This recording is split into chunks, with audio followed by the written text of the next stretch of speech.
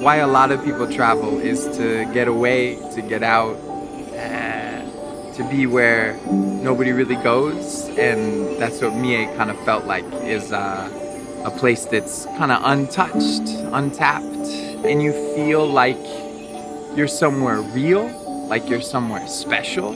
Uh, and you're at a place, you're not too far out, but you feel pretty far out.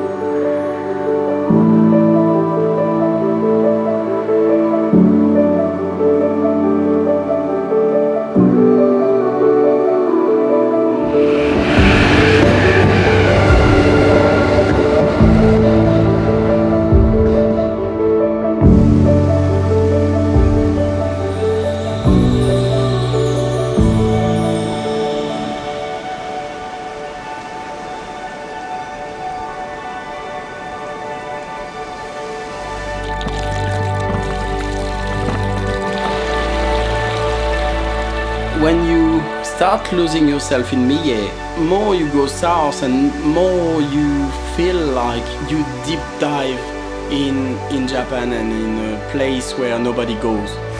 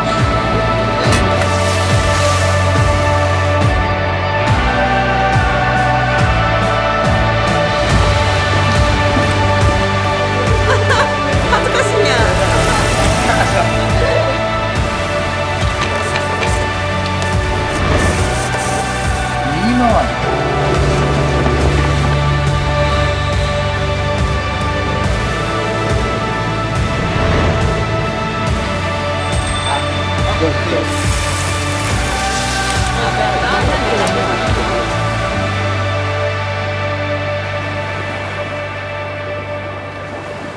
not gonna tell you how to do your trip in Japan.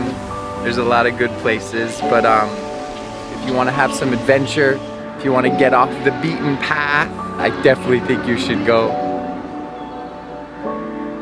That's what I wanna do. I wanna go back.